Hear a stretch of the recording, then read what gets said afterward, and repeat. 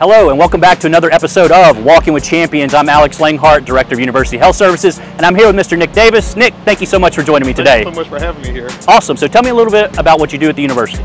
I'm the coordinator of testing services for the um, Division of Outreach, and I also am an instructor with the university. I teach a course called the Freshman Year Experience. Oh, yeah. So how long have you worked here? I started working for the university April of 2019. Okay, so still pretty new though. It's pretty new, but I did get my undergrad and graduate here, so I'm not new to Oxford. That's right, that's right. I mean, who ever really leaves, right? Right. so what do you love most about working at the university?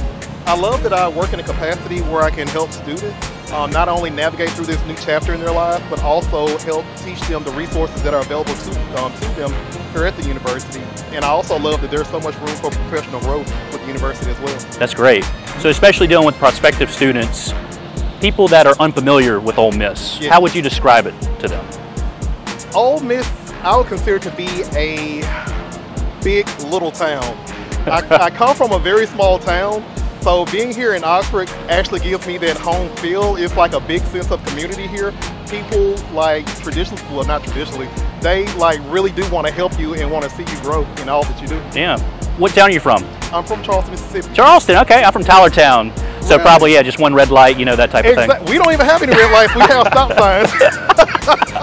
So yeah, you're big time in then, right? yes, yes. So tell me, getting involved in the community, how do you stay involved and what do you enjoy about being part of the Ole Miss community?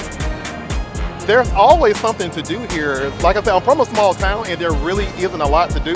Um, being with, uh, well, pretty much working with my coworkers, they always let me know, hey, Nic, this is going on or that's going on because I'm not, I don't know that many people here yet other than my coworkers.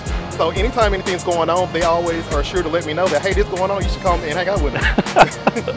That's usually how things get picked up, right? right. So is there anything else that you want uh, everyone to know about your time here at the university and why you enjoy working here? Um, other than this is a great place, everyone makes you feel a sense of family.